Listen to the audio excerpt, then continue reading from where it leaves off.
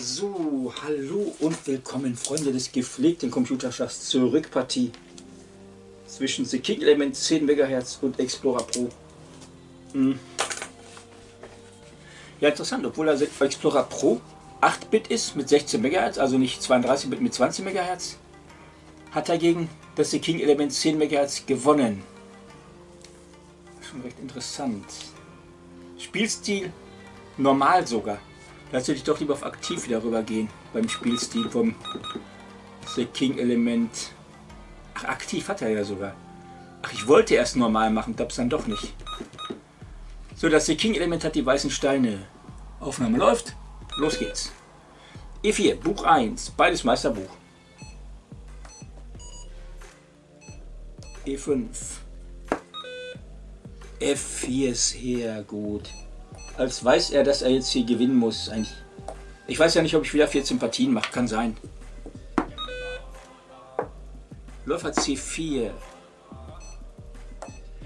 Den finde ich besser als beim ähm, Vancouver Springer C3. Das hat mir gar nicht gefallen. Springer C3 und da kommt Dame H4 Schach und der Vancouver MC König E2. Weil hier auf Dame H4 Schach kommt König F1. Das ist für mich ein Unterschied. Dann droht man ja Springer F3, die Dame anzugreifen, D3 und hat dann ein aktives Spiel. Deswegen finde ich Läufer C4 persönlich besser als Springer C3. Selber würde ich Königsgambit aber nicht anfassen. Weil das Problem ist einfach, ich mag dieses G5 nicht. Und dann fehlt mir irgendwie, ähm, nennen wir es mal Killerinstinkt. Also auf den König, voll auf den König gehen, das fehlt mir. Alles, was ich dann mache, ist, wenn ich einen Bauern in einen Gambit gebe, dann versuche ich den irgendwie posit äh, mit positionellem Spiel zurückzubekommen. Also ich renne diesen Bauern hinterher. Aber direkt hier auf den König, ähm, direkt in der Öffnung auf den König vor allem, das, da bin ich nicht so gut drin. Läufer C4. Angenommenes Königsgambit. Springer F6 oder D5 oder Dame H4 C6, Springer C6, D6. Das sind die Züge, die alle noch im Buch drin hat.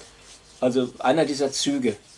Jetzt als Beispiel, rein theoretisch D7, D5 wäre dann nicht mehr im Buch.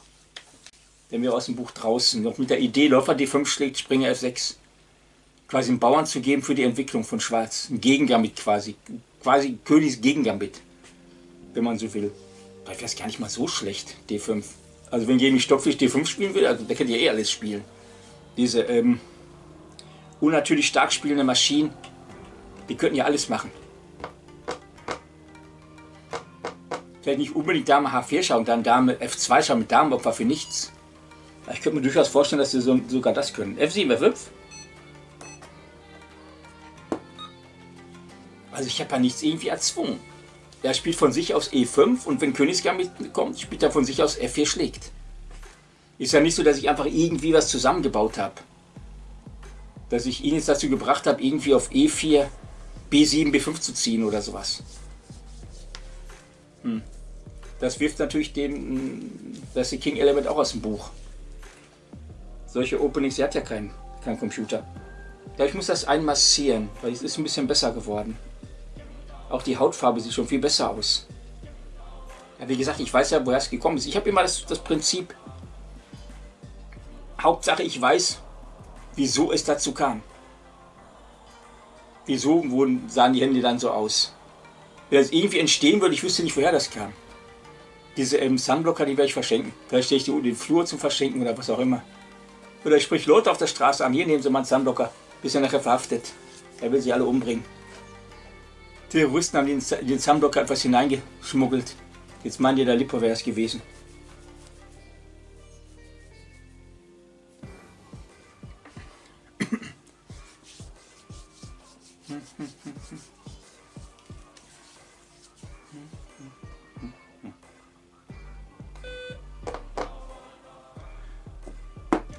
Freue mich richtig. Ich habe ich hab ja diese. Deswegen erwähne ich das doch so oft in den Videos hier. Ich habe diesen äh, Modena bestellt von eBay. Da freue ich mich schon volle Pulle drauf. Weil es ist ein Hegner und Glaser Gerät. Das ist für mich wichtig. Also nicht Mephisto from Cytic. Das finde ich jetzt nicht so geil. Aber Hegner und Glaser muss das sein. Das ist für mich der Ausschlag, dann den doch haben zu wollen.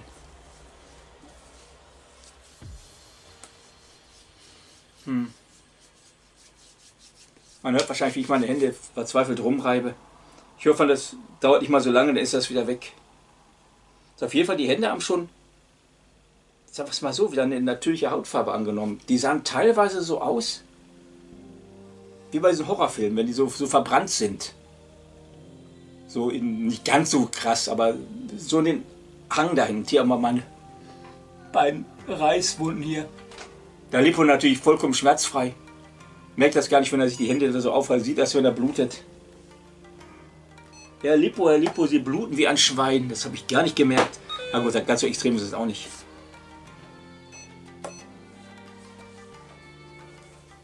Aber ich mag das The King-Element. Das ist vielen, vielen Dank nochmal für das The King-Element. Vielen Dank an alle Patreons. Auch dem Boris. Auch wenn das mehr so, ähm, hier diesen, diesen, diesen Boris-Schachcomputer. Diesen Klappkasten.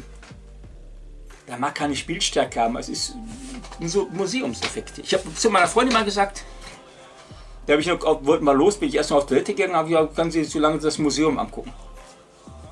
Im Prinzip ist es doch also wenn man Schachcomputer sammelt, diese Retro-Geräte, das ist ja quasi die Museumsabteilung. Da muss man auch diesen Hang zu haben. F5, E4. Da muss man irgendwie ja, diese nostalgischen Gefühle zu haben. Hm. Ich habe mir auch diesen Commodore 64 Maxi geholt. Da ist deswegen Maxi, den gab es als im Mini-Format und dann quasi das Gehäuse hat zwar die Originalgröße vom C64, man kann auch die Tasten benutzen. Er hat aber nicht alle Anschlüsse. Und, ähm, also modernere Anschlüsse, USB und so und HDMI. Und mit fest installierten Spielen. Und ähm, im Prinzip ist es eigentlich der, eigentlich der Mini. Weil die Platine, die im Mini drin war, ist im Maxi rechts oben in der Ecke. Da mache ich gar nichts mehr mit. Also mich stört das eigentlich eher. Das sind ja diese, Anal diese, diese ähm, äh, Mikroschalter-Controller, wo man dieses Klicken hört, wenn man diesen, diesen Stick bewegt. Also mir ist das zu abrupt. Ich bin dieses, dieses Analogstick-mäßige schon eher gewohnt.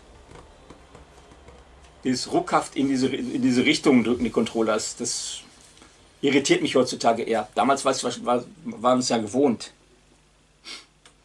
Hm, jetzt mache ich damit gar nichts mehr.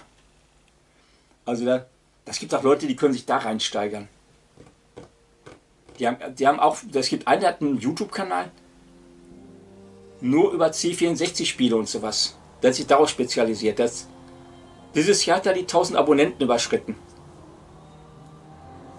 Aber ganz ehrlich, es reichen ja nicht nur 1000 Abonnenten. Gut, da kann man dieses Monetarisieren machen. Da bin ich rein, ich kenne einen Kanal, der hat auch über 1000 Abonnenten. Dann hat er trotzdem wenig Aufwand. Glaube ich dafür, wenn ich 30 Aufrufe habe. Dann kriege ich nicht mal ein, zwei Daumen hoch.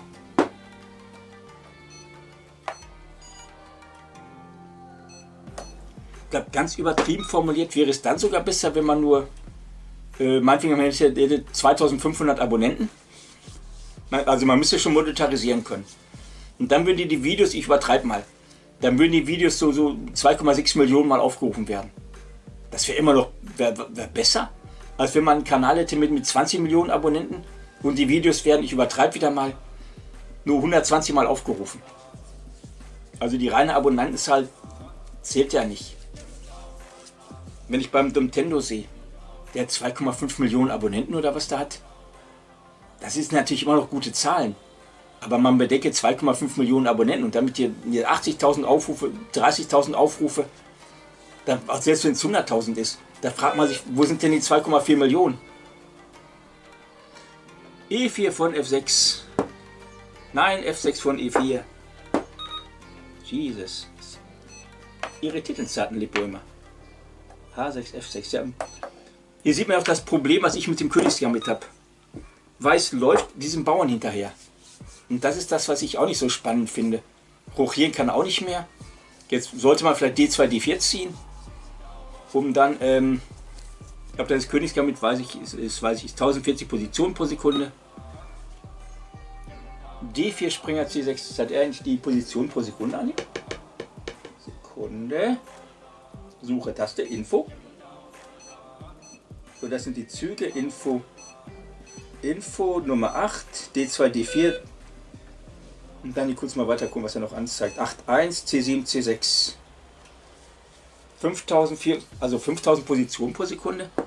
Also dann rechnet er wahrscheinlich Bruce Force. Und das ist King Element selektiv.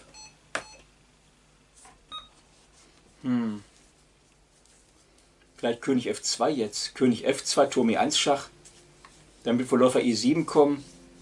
Oder ja, König F1, Turm, äh, F2, Turm F1, König G1. Das ist alles so, so ein Brechstangen-Königsgambit. Also mir gefällt das Königsgambit nicht. Allein solche Stellungen, die strebt doch keiner an. Da kommt irgendwann G7, G5. Was willst du da machen? Mit G3 am, am Königsflügel hebeln, wo ich rochiert habe? Irgendwann kommt noch C6, D5 und Läufer D6. Ab Königsgambit kann man ja so auf Vereinsniveau. Da Weiß hat 2100 Elo und Schwarz hat 1850 Elo.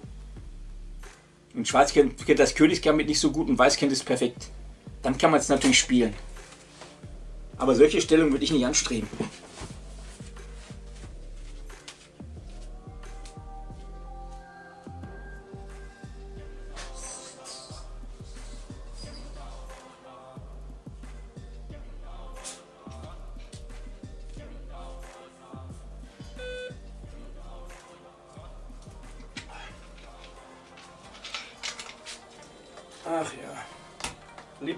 Da du durch. So, G3. Jetzt gibt er schon freiwillig den Bauern endgültig. Also jetzt ist es endgültig ein Gambit. Deswegen ist Königsgambit ja auch eher ein Gambit als Damengambit.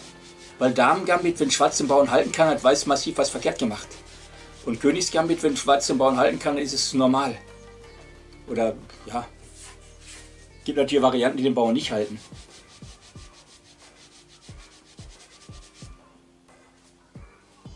Glaube, es gibt da ganz wenig Großmeister, die die Königsgambit spielen mit Weiß. Meine Güte.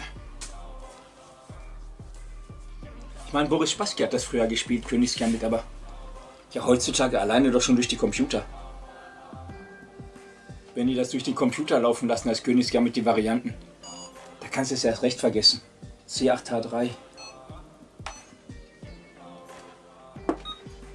Also das hat doch eher so den Charakter, als hätte Schwarzen Gambit gespielt. Er hat wunderbar die F-Linie bekommen. Schwarz hat ja quasi das bekommen, was Weiß nicht bekommen hat. Das ist, Schwarz hat sogar mehr Bauern und hat die F-Linie und kann rochieren. So, das sieht ja nicht so gut aus hier für, den, für das King-Element. Auch positiontechnisch scheint er viel mehr Position zu berechnen hier. Und das ist jetzt endgültig hier, dass es kein zurückbekommenes Bauern mehr geben wird. F4 schlägt, F4 schlägt, drunter schon Turm G8 Schach, König F2, Turm G2 Schach. Das steht zwar 0,13 plus, aber ich glaube da nicht dran. F4 schlägt, F4 schlägt, König F2. Hm. Jedenfalls eine interessante Partie. Mephisto Vancouver spielt auch Königsgambit. Und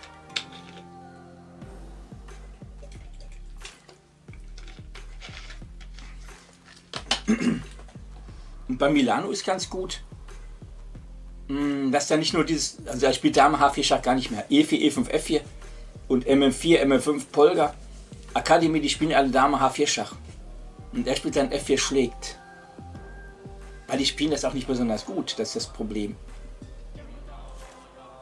Obwohl der MM5 hat, glaube ich, ich habe das mal spielen lassen. Ähm, der MF5 einer der wenigen von den Ed Schröders, die mit Dame H4 Schachpartien gewonnen haben. Dame D3. Hm. Ja, ich vermute mal, F4 schlägt kann es sich nicht ohne weiteres erlauben. Das Weiß steht auch so mäßig. Also ich würde mich nicht wohlfühlen. Also wenn ich meine Hände jetzt so angucke, die haben zumindest, sagen wir mal, die Hautfarbe tendiert wieder zur normalen Note ab, ich aber trotzdem noch die Hände dick eincremen müssen dann mit weißen Handschuhen. Die Arme jucken auch nicht mehr so sehr. Tja, man muss eben, ich habe eine empfindliche Haut, ich muss da aufpassen.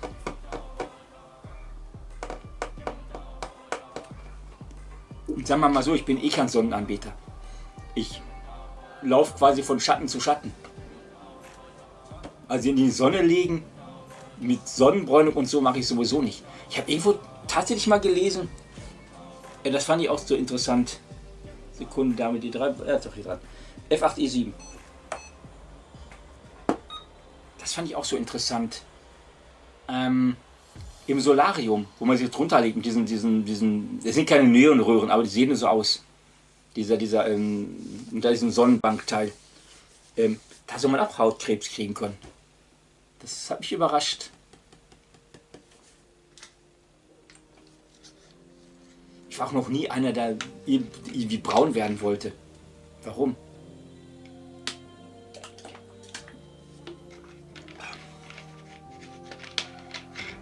Ich finde, das sieht sogar total weird aus. Wenn so Leute so, so extrem Sonne tanken, am Strand oder was auch immer, dass sie quasi schon ähm, so eine dunkelbraune Hautfarbe bekommen. Das sieht irgendwie total weird aus.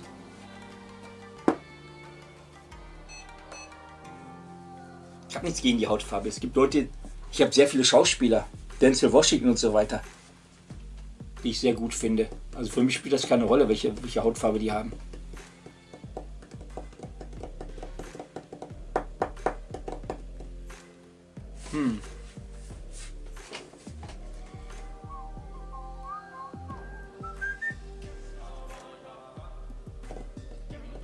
Also Weiß fängt zumindest an, seine Figuren aktiv hinzustellen. G4. Ich glaube, G4 für Schwarz würde dann doch eher den Läufer zu, zu sehr abklemmen. G4, Springer H4, meinetwegen F3. König F2. Ja, man könnte dann noch auf H5, H4 hebeln. Aber die meisten Fälle hat der Läufer dann nicht mehr auf H3. Den würde man sich erstmal vom Spiel raus, aus dem Spiel rausnehmen. 0,20 plus. Ich wollte gerade gegen wen ich Mephisto 2 spielen lasse, auf 30 Sekunden pro Zug, wenn es den Level da gibt. Man könnte theoretisch aber bestimmt auch so machen, dass man ähm, ja eben 30 Sekunden abwartet und dann Enter drückt. Das dann selber regelt, falls er 30 Sekunden nicht hat pro Zug. Dann macht man eben eine andere Stufe und bei 30 Sekunden macht man dann Enter.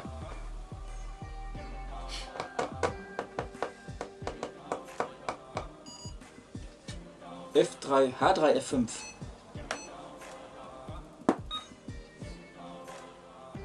Den MM4 würde ich theoretisch auch wegtauschen, das MM4 Modulset. MM4 Display HG440. Da müsste aber was, was kommen, was, was für mich den Tausch lohnenswert machen würde. Hat im Tausch das MM6 Modul, aber ich weiß nicht.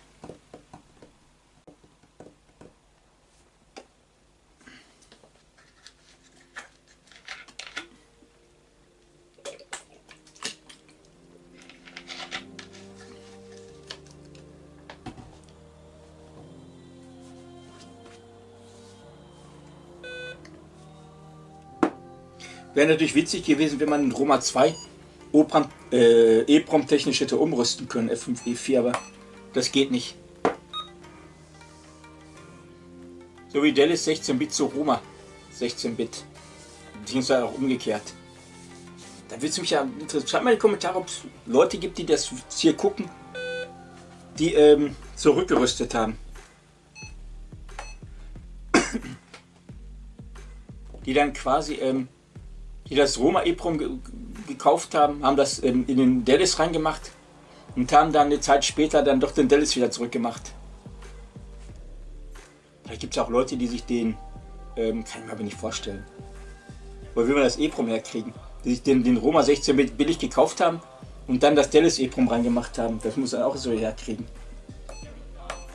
Theoretisch könnte ich mir vorstellen, wenn einer einen EPROM-Brenner hat, dass er das auch selbst machen kann. Aber die Hände kriegen schon allmählich eine gesunde Hautfarbe.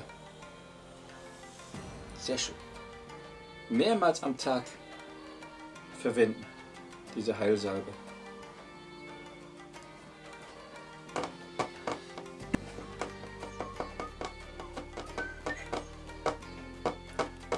Ich überlege schon, ob ich in Indiana Jones ins Kino gehe. Der kommt ja Ende des Monats, 30, 30. Juni oder wann er kommt. Ich war sogar an den Kristallschädel im Kino. Den fand ich auch ganz gut, muss ich ehrlich sagen. Also ich fand Indiana Jones ähm, das Geheimnis des Kristallschädels, irgendwie sowas. Ich fand ihn gut.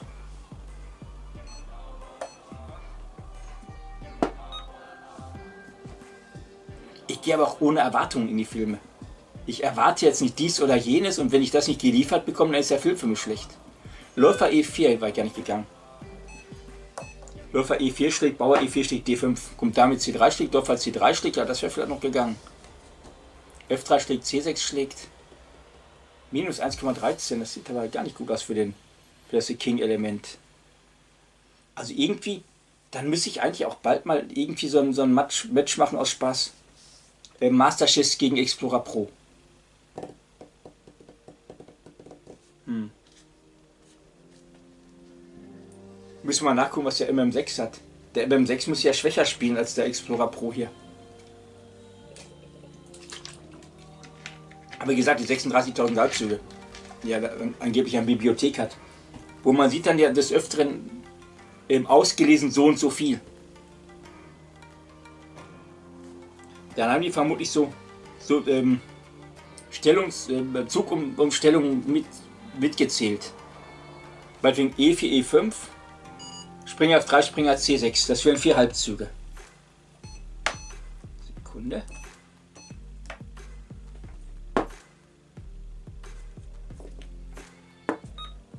Es würde theoretisch aber auch gehen, E4, Springer C6, Springer F3, E5.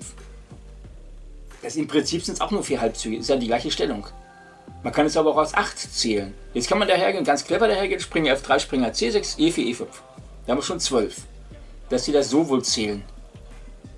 Also die Zugwiederholung. Ganz schrecklich war mal, da hat einer D4 gezogen, der andere C6. Da war dann der hm.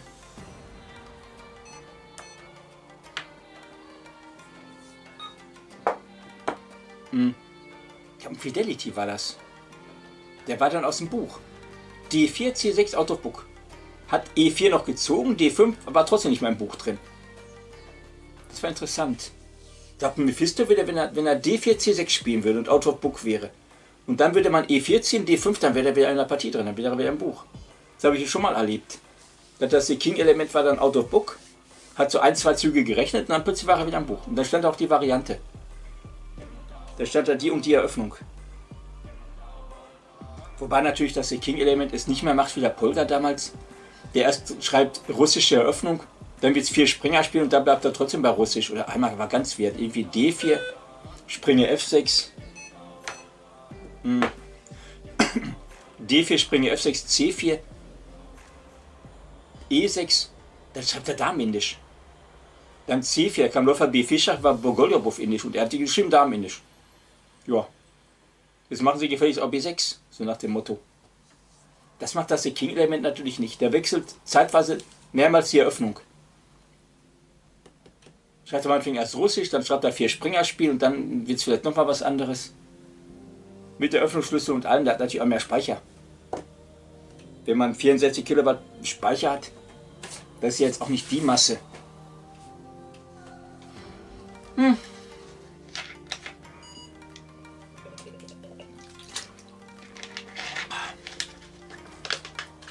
Muss dann die Halsabe wohl richtig einmassieren. Wie ein Masseur.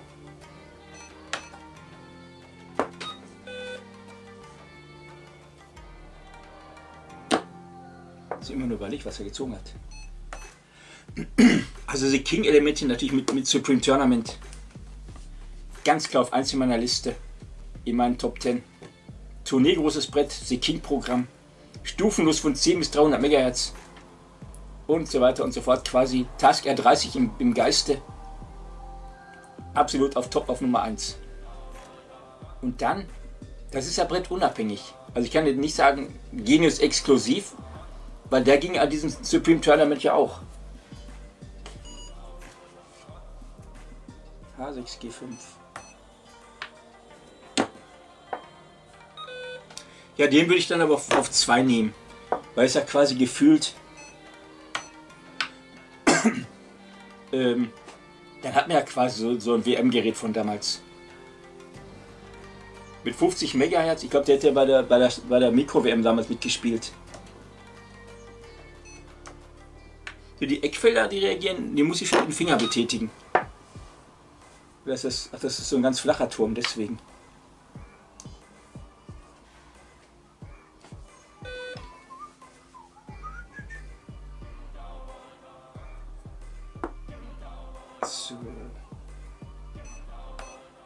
Ja, das Problem ist halt das, was, ähm, ja, Weiß öffnet sich das Spiel am eigenen Flügel, wo er hinrochiert hat. Schwarz steht auch ein bisschen luftig, aber doch ein bisschen sicherer.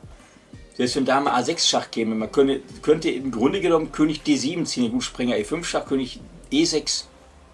Ja, ganz sicher steht er auch nicht. Die Dame muss ja erstmal nach dahin kommen. Dame A5 muss er erstmal machen. Minus 1,73, also das ist kurios. Gegen, das, gegen den war das so offen und hier geht er so ein. Vielleicht hat er einfach einen anderen Spielstil, der Explorer, als der Masterchess. Ich würde es auch normalerweise annehmen, wenn ich jetzt ähm, den Explorer gegen Masterchess spielen würde, dass der Explorer einfach verlieren würde. Weil der Masterchess einfach mehr Rechentief hat. Er geht schon ein Keller minus 1,94.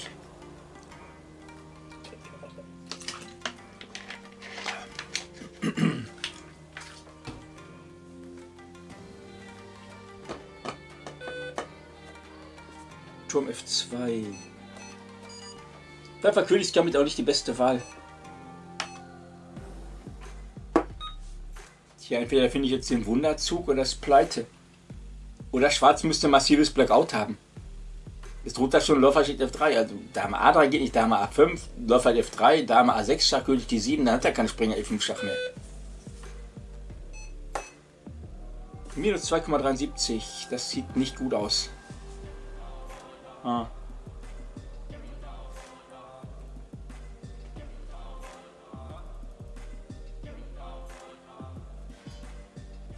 Ja, zumindest meine Abschürfungen werden durch das viele Heilsalben die Creme auch gut abheilen. Ich habe kein Wasser drauf, das blutet ja nicht oder sowas. Das ist ein Sinne der Heilung ist es ja schon. Ich bin ja Kummer gewohnt mit meinen Händen. Ist ja nicht, dass das zum ersten Mal ist.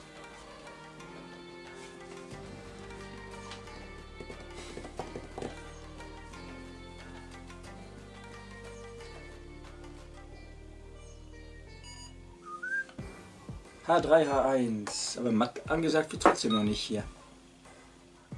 Studien. Studies. Ich habe noch nie mit einem Schachcomputer die darin gespeicherten Partien nachgespielt.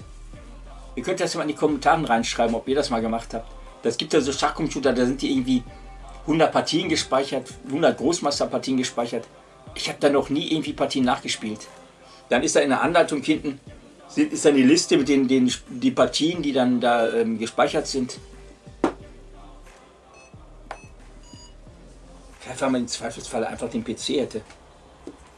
Der wäre dann, dann doch besser für sowas geeignet. Ja, da muss doch irgendwie ja, Dame F3, Dame D4, Dame F4. Irgendwie ein Schachgebot. Also ohne Darmtausch. Minus 4,44, Turm F3, Dame E6 Schach. Jetzt geht's allmählich den Bach hinunter. Ah, tja. Das ist interessant. Dass der so klar verliert gegen den Master Chess. Werfer König damit auch nicht die beste Wahl. Das kann man so als zum Fun. Ach, du musst ja schon dazwischen moven hier. Jesus. Ach, da ist die Partie auch gleich gelaufen hier. Wie klar der gegen den Masterschiss verliert. Der wird noch nie mal genommen. Ist ja eh noch gefesselt. Tja. Da reichen keine 10 MHz. Und 20 tippe ich mal, wären wieder zu viel. Aber was sagt das über Masterschiss aus? Wenn der Explorer ihn, ihn zweimal so locker umhaut und der Masterschiss hat ja auch Partien verloren.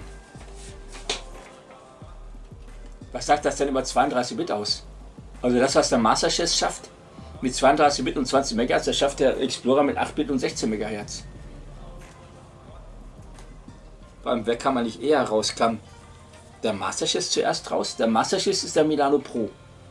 Da kam der eher raus und das ist ein weiterentwickeltes Programm, aber ich weiß nicht. Hm.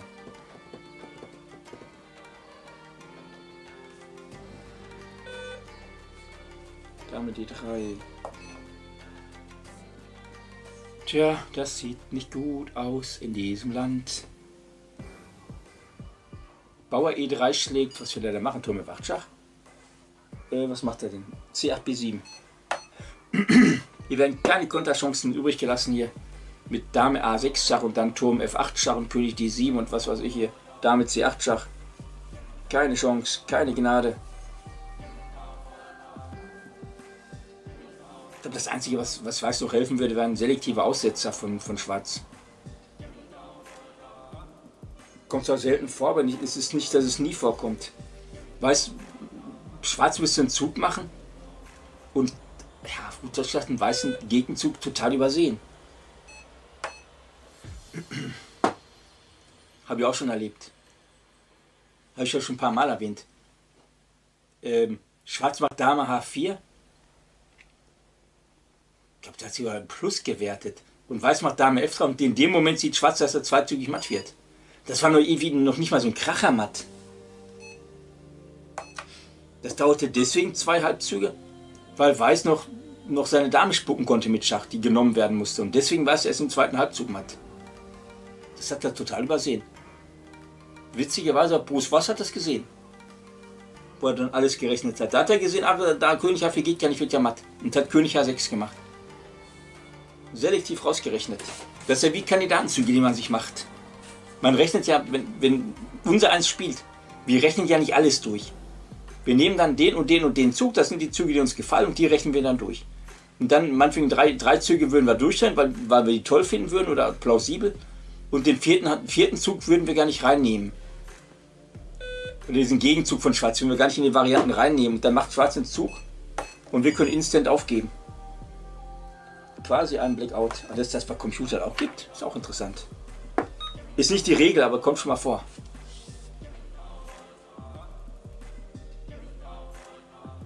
Tja, beim The King Element kann man immer noch sagen, hat ja, es ist ja die schwächste Stufe. Hm.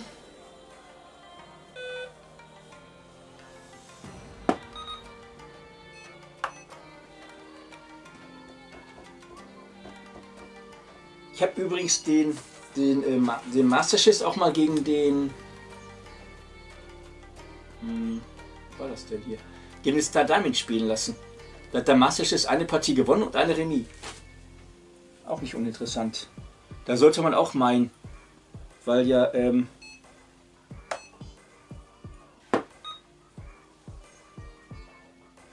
Dame F8 Schach.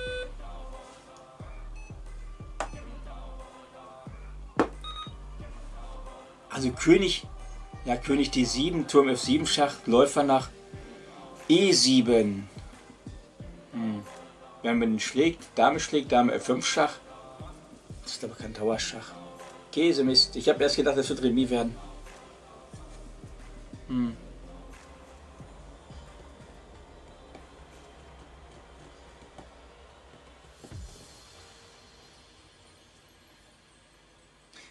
Ich ob die ganzen WM-Pokale stehen.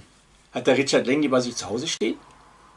Diese, das gab ja Pokale für Mikrocomputer-Weltmeisterschaft. Das gab eine WM, da hatten die extra von, von Computerschach und Spiele so, so Pokale in Auftrag gegeben. Das war so ein, wie so ein Globus obendrauf aus Glas, eben von seiner Glasmanufaktur. Die sahen total geil aus.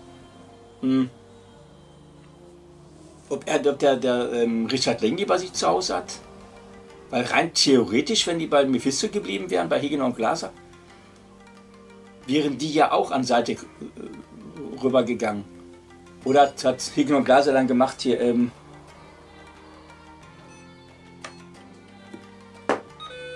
was ja auch theoretisch möglich wäre, dass die dann ähm, gemerkt haben, Higgin und Glaser löst sich auf und verkaufen die nichts an, an Seitig, dass die dann den Programmierern die Pokale geschenkt haben.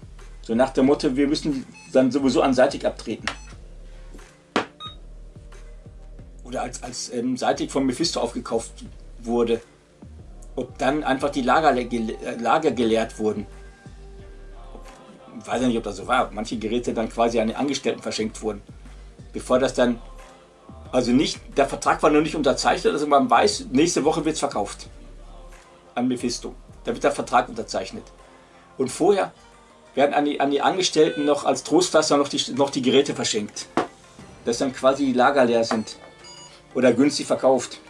Dass wenn das dann, dann verkauft wird, dass die, die ganzen Geräte nicht da mit drin sind. Im, im Kaufpreis. Minus 0,97. Ende im Gelände. Das ist dann doch zu pleite. So, 2 zu 0. Das überrascht mich jetzt hier. Tschüss, bis zum nächsten Mal.